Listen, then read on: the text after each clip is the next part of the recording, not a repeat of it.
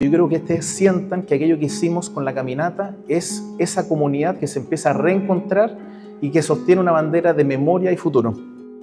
Todos sabemos, porque aquí se ha contado, ha habido testimonios, hubo despojos, hubo violencia, se prohibió mantener animales en el complejo, se redujo a 5.000 la población del lugar que era de 20.000. El terror, las amenazas y la violencia generalizada tuvieron como consecuencia un crimen que es tiempo de incluir dentro de la discusión sobre la justicia transicional, el desplazamiento forzado interno de los habitantes de Cofumapa. Como Estado empezamos a reconocer esta memoria persistente, que demanda ser rescatada, documentada, conocida y valorada.